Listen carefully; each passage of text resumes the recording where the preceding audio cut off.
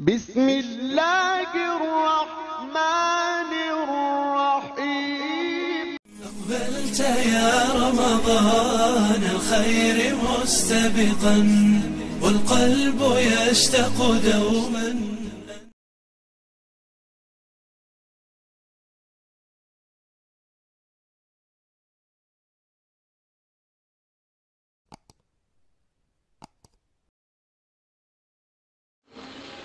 بسم الله الرحمن الرحيم الحمد لله رب العالمين والصلاة والسلام على أشرف المخلوقين وعلى آله وأصحابه الفائزين أما بعد السلام عليكم ورحمة الله وبركاته ബഹുമാന്യരായ സഹോദരന്മാരെ വിശുദ്ധ റമദാനിൻ്റെ പതിനഞ്ച് ദിവസം പിന്നിട്ടു പതിനാറാം ദിവസത്തിൽ നമ്മൾ എത്തി നിൽക്കുകയാണ്. റമദാനിൽ നിന്നും നേർ പകുതി ഭാഗം നമ്മിൽ നിന്നും വിട പറഞ്ഞുപോയി ഇനിയുള്ള ഭാഗം നമ്മുടെ മലീമസമായ മനസ്സും ശരീരവും ശുദ്ധീകരിച്ചു. വിശുദ്ധ റമദാനിൽ നിന്നും നമുക്ക് കിട്ടേണ്ടതായ നേട്ടങ്ങളൊക്കെ നേടിയെടുക്കാനുള്ള പരിശ്രമം നമ്മളെല്ലാവരും നടത്തണം. അള്ളാഹു തൗഫീഖ് നൽകട്ടെ. കഴിഞ്ഞ ദിവസം ഒരേക്കും നമ്മൾ സംസാരിച്ചു വെച്ചതിന്റെ തുടർച്ചയാണ് ഇന്നും കേൾപ്പിക്കാൻ ഉദ്ദേശിക്കുന്നത്. നമ്മുടെ മനസ്സ് ശുദ്ധമാക്കുന്നതിന്റെ ആവശ്യകതയെക്കുറിച്ചാണല്ലോ കുറേ ദിവസങ്ങളിലായി നമ്മൾ സംസാരിച്ചു കൊണ്ടിരിക്കുന്നത് ഹൃദയശുദ്ധി കൈവരിക്കുന്ന ആൾ അള്ളാഹുവിങ്കിൽ ഏറ്റവും ഉന്നതമായ പദവിയിലെത്തുമെന്നും ആരോടും പകയും വിദ്വേഷവും അസൂയയും ദേഷ്യവും ഒന്നുമില്ലാത്ത ശുദ്ധമായ ഹൃദയം ഒരാൾക്ക് സമ്പാദിക്കാൻ കഴിഞ്ഞാൽ അവർക്ക് വലിയ അമലിന്റെ ആവശ്യമില്ലെന്നും ചുരുങ്ങിയ അമലുകൊണ്ട് തന്നെ അള്ളാഹുവിന്റെ ലോകത്ത് വിജയം കൈവരിക്കാൻ കഴിയുമെന്നുമാണ് നമ്മൾ സംസാരിച്ചത്.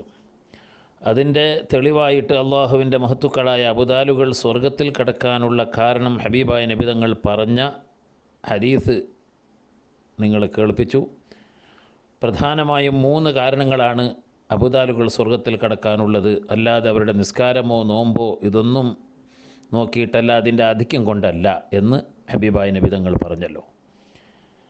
അതിൽ രണ്ട് കാരണം നമ്മൾ വിശദീകരിച്ചു. മൂന്നാമത്തെ കാരണം നമ്മുടെ വിഷയമാണ്. വസലാമത്തി സുദൂർ. അവരുടെ ഹൃദയം സലീമായതുകൊണ്ടാണ്. എല്ലാ തരത്തിലുള്ള ദുർഗുണങ്ങളിൽ നിന്നും ഹൃദയം മുക്തമായി ആരോടും പകയില്ലാത്ത വിദ്വേഷമില്ലാത്ത അസൂയയില്ലാത്ത കുശുമ്പില്ലാത്ത കുരുട്ടില്ലാത്ത കിബറില്ലാത്ത ഹസദില്ലാത്ത റിയാ ഇല്ലാത്ത വളരെ ശുദ്ധമായ ഹൃദയം അള്ളാഹു അവർക്ക് സമ്മാനിച്ചതിന്റെ ഫലമാണ് അബദാലുകളായ മഹാന്മാർ അള്ളാഹുവിന്റെ സ്വർഗത്തിലെത്തുന്നത് എന്ന് അഷറഫുൽ ഖൽക്ക് മുഹമ്മദ് റസൂലുല്ലാഹി സല്ലാഹു അലഹി വസ്ല്ലം പഠിപ്പിച്ചു എന്ന് നിങ്ങളെ ശ്രദ്ധയിൽ ഞാൻ പെടുത്തി അത് നിങ്ങളുടെ ഓർമ്മയിലുണ്ടാകുമെന്ന് ഞാൻ കരുതുന്നു. ബഹുമാനികളെ ഈ ഹൃദയശുദ്ധി എന്നത് മുമ്പ് സൂചിപ്പിച്ചതുപോലെ ഏറ്റവും പ്രധാനപ്പെട്ട കാര്യമാണ്. കർമ്മപരമായ വിഷയത്തെക്കാളും വളരെ പ്രാധാന്യമർഹിക്കുന്നതാണ് ഹൃദയവുമായി ബന്ധപ്പെട്ട സദ്ഗുണങ്ങളും ദുർഗുണങ്ങളും. അള്ളാഹു സുബാനഹുത്താല അവന്റെ വിശുദ്ധ ഖുർആാനിൽ നൂറുകണക്കായ ആയത്തുകൾ ഉപയോഗിച്ചിട്ടുള്ളത് ഹൃദയവുമായി ബന്ധപ്പെട്ട വിഷയം സംസാരിക്കാനാണ്. കർമ്മപരമായ വിഷയങ്ങൾ സംസാരിക്കാൻ അള്ളാഹു താല വളരെ ചുരുങ്ങിയ ആയത്തുകൾ മാത്രമാണ് വിശുദ്ധ ഖുറാനിൽ പഠിപ്പ് പറഞ്ഞിട്ടുള്ളത് ഉപയോഗപ്പെടുത്തിയിട്ടുള്ളത് എന്ന് മഹത്തുക്കളായ ഇമാമുകൾ നമ്മളെ പഠിപ്പിച്ചിട്ടുണ്ട്.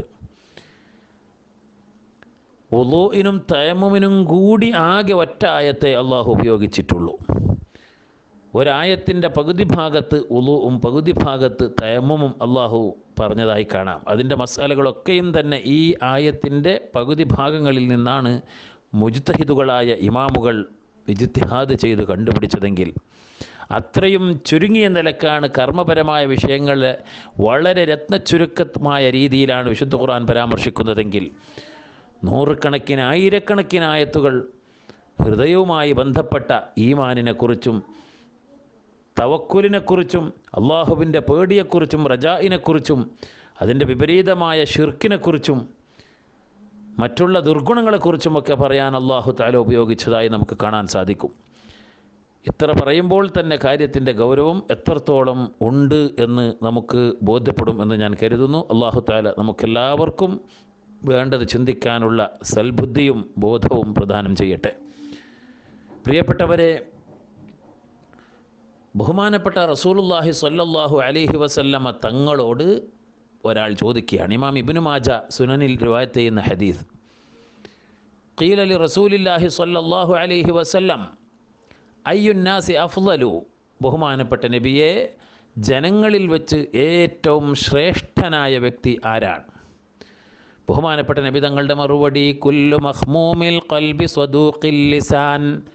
എല്ലാ കൽബ് മഹ്മൂമായ മനുഷ്യനും നാവ് സത്യസന്ധമായി സത്യം മാത്രം പറയാനുള്ള തൗഫീഖുള്ള മനുഷ്യനുമാണ്. കാലു സഹാബത്ത് തിരിച്ചു ചോദിക്കുകയാണ് ബഹുമാനപ്പെട്ട നബിയെ സ്വദൂഖുൽ ലിസാനിൻ അരിഫുഹു സ്വദൂഖുൽ ലിസാൻ സത്യസന്ധമായ നാവുള്ളവൻ എന്ന് പറഞ്ഞാൽ ഞങ്ങൾക്ക് മനസ്സിലാക്കാൻ പറ്റും. ഫമാ മഹ്മൂമുൽ കൽബി എന്നാൽ മഹ്മൂമുൽ കൽബ് എന്നവർ അവിടെ നിന്ന് പറഞ്ഞുവല്ലോ അത് ആരെക്കുറിച്ചാണ് നബിയെ എന്ന്. ബഹുമാനപ്പെട്ട സ്വഹാബത്തുൽ കിറാം സംശയം ചോദിക്കുമ്പോൾ അള്ളാഹുവിന്റെ റസൂലിന്റെ മറുപടി ലാ ഇസ്മ ഫീഹി വലാ ബഗിയ വലാ ഗില്ല വലാ ഹസദ്. അത് അള്ളാഹുവിന് തെക്കുവയുള്ള കൽബാണ്. ശുദ്ധമായ കറകളഞ്ഞതായ കൽബാണ്. ലാ ഇസ്മഫീഹി വലാ ബഗിയ വലാ ഗില്ല വലാ ഹസദ്. ഒരു കുറ്റവും കാണാൻ കഴിയാത്ത കൽബാണ്. ആരോടും പകയില്ലാത്ത ആരോടും വെറുപ്പില്ലാത്ത ഒരു മനുഷ്യനോടും അസൂയയില്ലാത്ത പരിശുദ്ധമായ ശുദ്ധമായ കറകളഞ്ഞതായ കൽബുള്ള മനുഷ്യനാണ് മഹ്മൂമുൽ കൽബ് എന്ന് പറഞ്ഞാലെന്ന് അഷ്റഫുൽ ഖൽക്ക് മുഹമ്മദുർ റസൂലുല്ലാഹി സല്ലല്ലാഹു അലൈഹി വസല്ലമ തങ്ങൾ വിവരിച്ചു കൊടുക്കുകയാണ്. ജനങ്ങളിൽ വെച്ച് ഏറ്റവും ശ്രേഷ്ഠൻ എന്നാണ് അള്ളാഹുവിന്റെ റസൂൽ. ഹൃദയശുദ്ധിയുള്ള മനുഷ്യനെക്കുറിച്ച് വിശേഷിപ്പിക്കുന്നത് അതുകൊണ്ട് തന്നെ ഈ മഹത്താകുന്ന സ്വഭാവം ഈ മഹത്താകുന്ന സവിശേഷത കൈമുതലാക്കാൻ കഴിയുന്നവർ ഭാഗ്യവാന്മാരെന്ന് പറഞ്ഞാൽ പോരാ. സർവഭാഗ്യങ്ങളും കൈമുതലാക്കപ്പെട്ടവരാണ്. അള്ളാഹു നമുക്കൊക്കെ തൗഫീഖ് നൽകട്ടെ. പ്രിയപ്പെട്ടവരെ ഹൃദയത്തെ കാർന്നു തിന്നുന്ന രോഗങ്ങളെക്കുറിച്ച് നമുക്കൊരൽപ്പം വിശദീകരിക്കാം. ഒരു മനുഷ്യന്റെ ഹൃദയത്തെ നശിപ്പിക്കുക വഴി ശരീരം മൊത്തവും നശിച്ചു പോകാൻ കാരണമാകുന്ന മാരകമായ ഗുണങ്ങളാണവ. ഹൃദയത്തെ ബാധിക്കുന്ന രോഗങ്ങളാണ്. ഒരു മനുഷ്യന്റെ ആകെ മൊത്തം അവനെ സമൂലനാശം വരുത്തുന്ന രോഗങ്ങൾ ഗുണങ്ങൾ എന്ന് നമ്മൾ മനസ്സിലാക്കേണ്ടതാണ്. ഹൃദയം നന്നായാൽ ശരീരം മുഴുവനും നന്നായി എന്നാണല്ലോ. അള്ളാഹുവിന്റെ റസൂൽ പറഞ്ഞ പ്രസിദ്ധമായ ഹരീത് നമുക്കൊക്കെ അറിയുന്നതാണ്. അലാ ഇന്ന ഫിൽ ജസദി മുതുകത്തൻ ഇതാ സ്വലഹ സ്വലഹത്ത് സ്വലഹൽ ജസദ് കുല്ലു. നിശ്ചയമായും അറിയുക എല്ലാ മനുഷ്യ ശരീരത്തിലും ഓരോ മാംസപിണ്ഡമുണ്ട് എങ്ങനെയുള്ള മാംസപിണ്ഡമാണ്? അത് നന്നായാൽ ശരീരം മുഴുവനും നന്നായി. വൈദാ ഫസദത്ത് ഫസദൽ ജസദു കുല്ലുഹു. ആ മാംസപിണ്ഡം മോശമായി പോയാൽ ചീത്തയായി പോയാൽ അതുമൂലം ശരീരം മുഴുവനും ചീത്തയായി പോയി. അല വഹിയൽ ഖൽബ്.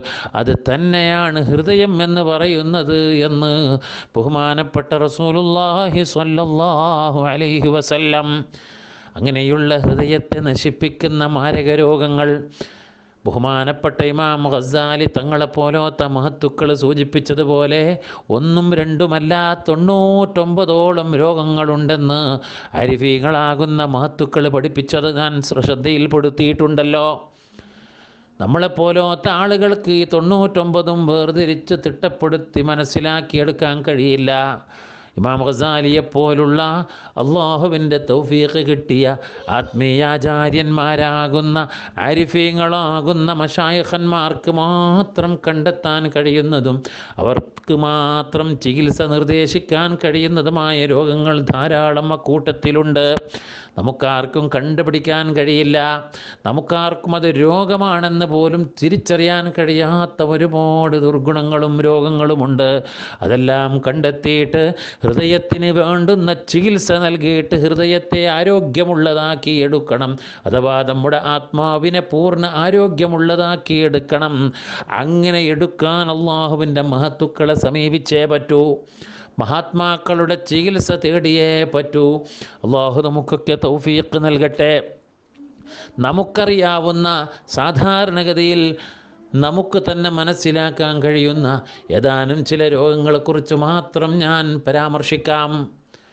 പ്രിയപ്പെട്ട മോമിനീങ്ങളെ അത്തരം രോഗങ്ങളിൽ നിന്ന് എളുപ്പമായി നമുക്ക് മനസ്സിലാക്കാൻ കഴിയുന്ന ചില രോഗങ്ങൾ ഇൻഷാ അല്ലാ ഓരോന്നായി നാളെ മുതൽ അല്പാൽപ്പം നമുക്ക് സംസാരിക്കാം. അള്ളാഹു താല തൗഫീഖ് നൽകട്ടെ. റബ്ബന തഖബ്ബൽ മിന്ന ഇന്നക അൻത സമീഉൽ അലീം വതുബ് ഇന്നക റഹീം. ആമീൻ യാ റബ്ബൽ ആലമീൻ. വൽഹംദുലില്ലാഹി റബ്ബിൽ ആലമീൻ. അസ്സലാമു അലൈക്കും വറഹ്മത്തുള്ളാഹി വബറകാതുഹു.